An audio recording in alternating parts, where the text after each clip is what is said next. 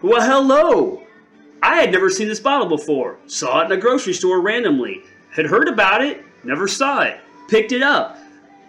I have looked for information online. I can't find it online to save my life. I don't know what we're holding here. This might be the unicorn of unicorns, and at $50, this might be the most exciting bottle that you've ever heard about or seen. I don't know. Check out this episode and see what I think about it.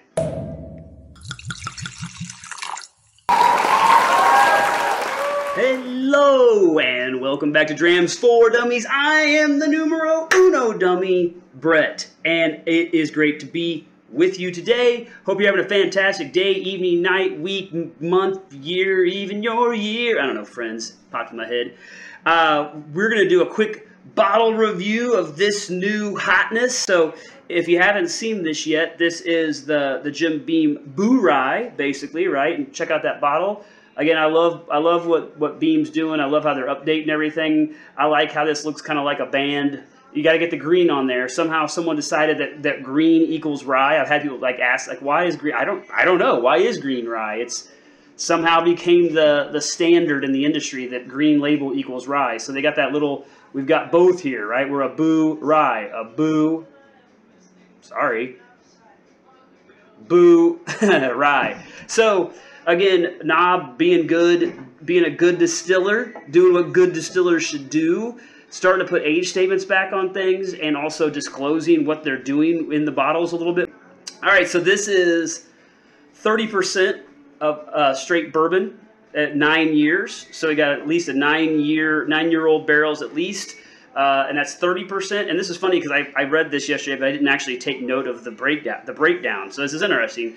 70% Kentucky Straight Rye whiskey, seven years. So seven year age statement rye, nine year age statement bourbon. 70% of this is rye, which, if, I mean, I love what Beam's doing, but if we're going to like quibble a little bit, shouldn't we like be green to there and then brown to there? Put your comments, marketer, marketing folk, folk-minded people. This sort of makes me makes me think, and I think I assumed that that we're more bourbon than rye, or at least 50-50. For this to be a 70% rye, I feel like that should be more of a more of a green label. But hey, that's just me. I, I'm, I'm, I'm, I'm pointing out little things. Uh, 113 proof. Uh, they say notes of vanilla, caramel, and pepper. I think that's about that's about as basic and dumb a notes as I can probably pull. I would probably be like vanilla, caramel, oak, maybe pepper. I'm gonna go. You know, it's a rye, so I can I can see me saying these things. uh, anything else interesting here? Nah, not really. Just the mumbo jumbo stuff. All right. Without further ado, as uh, the record company blasts some Rita Mae Young in the background. Great song, great band. Let's start swirling and twirling. Just because I've been putting out more stuff recently, I'm looking at the clock and going, I'm already, I'm already swirling and twirling and spilling bourbon on my scorebook uh, before five minutes. That's I'm I'm I'm moving fast. I'm efficient the cats want to get fed. I'm, I'm actually six minutes over their time, so that's where we. That, that's pressuring me right now. I just got to get this thing done. Got to get in the chute. So, and yeah, that's fun watching the bourbon soak through the pages of my scorebook. We'll see how that affects things down the road. All right, let's rock and let's roll. Fairly light in color. That doesn't really mean a lot. I mean, I, when they disclose what it is, like who, I, I'm, I'm not going to really quibble on color. You know, I mean, that is what it is. Seven and nine year uh, rise in bourbons equal that color, but it is a pretty mid to almost a light mid uh, brown in there. So, so yeah, you've got the peppery spice, you've got the rye all day long. It, I think anyone that would smell it would kind of come at it and think this is a bright, kind of spicy rye, but it does. That 30% of bourbon is probably exactly what they wanted to do. It's bringing some of that sweet, Hey, they said caramel, and I agree. Bringing some of that sweet caramel, the caramel notes in there. Um, I used to say fairly recently, up until maybe right this minute, that I'm kind of a rye guy. I do. I like rye heavy bourbons.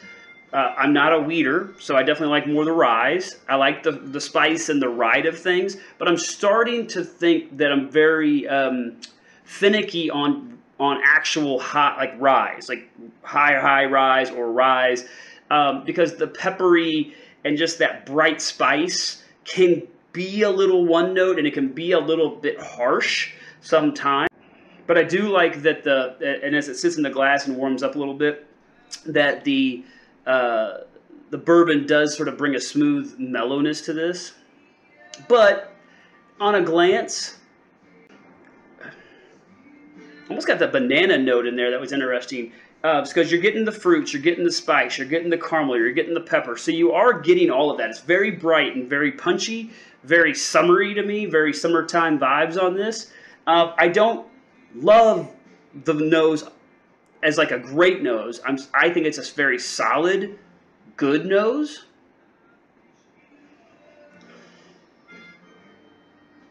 But again, today maybe I'm just kind of wishing it was a little bit richer and, and deeper, and it's just that more brighty, peppery, little bit of sweet, little bit of fruit, spice in there. It's good, but it also has a little funk in there. So for the sake of time, I need a hustle 6.5.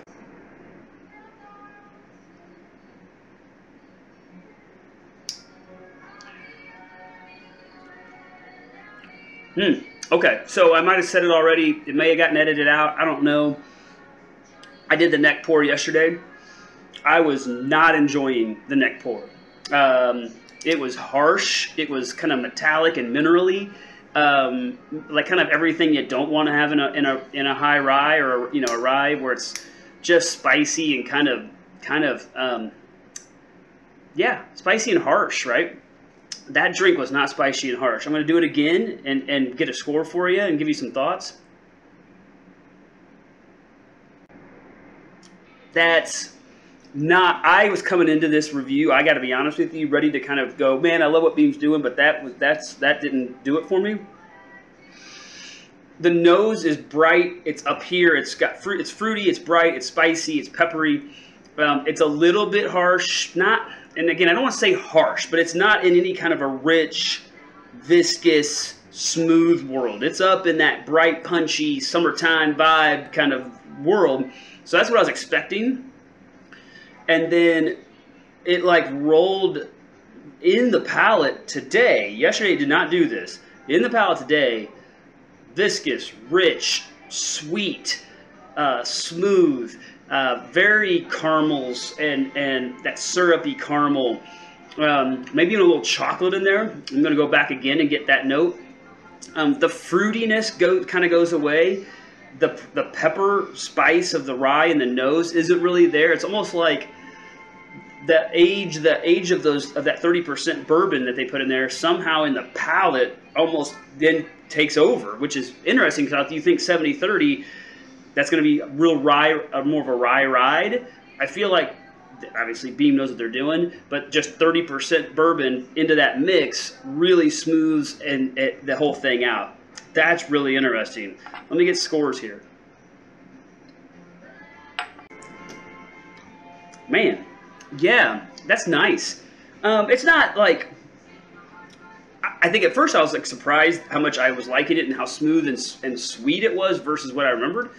Um, it's not like blowing the doors off anything, you know, but I, am going to put the palate at a 7.5.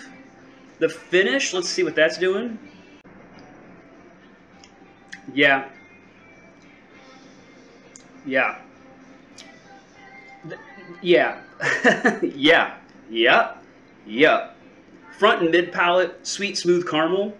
Back palate, a little bit more aggressive not into a harsh and not even to that peppery rye spice, but just a little bit of more aggressive and a, and a dark chocolate comes out there. That that kind of baking chocolate almost, but but it's still sweet. But it's it gets and it's I like it because it, it, adds a it adds a different level. If it was just that kind of sweet, easy um, caramel smoothness through through all the way through, it would be very one note and it would be very kind of boring and just meh. That dark chocolate in the back adds an element that is really kind of fun. It also then sort of gives you an illusion of, a, of kind of a, of a interesting finish, but the reality is once you once you swallow it down, the feeling is still running. the feeling of the finish is running, so I like that. But the flavor of the finish didn't do a whole lot of different things. Didn't come back and do any zinging. Didn't come back and switch gears. Didn't come back and bring a new flavor. It was just like that dark chocolate back, and then it just sort of was more turned into experience, more feeling, not doing a whole lot flavor wise on the on the finish, which is fine. It doesn't hurt my feelings, um, but I'm going to go six on the finish because I'm just trying to be more real and more kind of, I don't know, a little bit more harsh on my notes on those things. So uh, that would be 6.7 bottle. Uh, okay, so we've got 6.5 on the nose, we've got 7.5 on the palate, and we've got a 6 on the finish. 6.7, we're knocking on the door of really good. Now, if you could find this, if this is something attainable, would it be a buy? I think so. I mean, it's 50 bucks. Um, it's it's because it, it's a boo rye. It's gonna do something a little different for each person, right? So again, if you like the bright nose, you might love it more than I did on, on the nose. If you, but then if you're like, but I want that bright, I want that bright spicy palate, you it may let you down there, where this brings in the sweet and the rich in the palate. Um, and then if you're a finish guy, then you might be like, this kind of let me down in the finish. It just sort of fell flat. It, it's a $50 bottle for the age, for the proof at 113. I think you're getting a lot of value in this bottle. I think this is a bottle that you could absolutely sip straight all day long. I hope this did something for you, man. In the shooting of this, the chaos, the stopping, the starting, the cats, the the I can't find this bottle online. The I mean, it's like I'm all over the place. We'll see if I can if I've learned anything about how to edit and and and and cut down more effectively so that this is a better watching experience for you. But if you got something from this and you're liking what you know just joining a dummy in their kitchen and understand and feeling like you've got someone speaking your language like and subscribe and do all the things. And here's the big thing i mean subscribe and like first of all.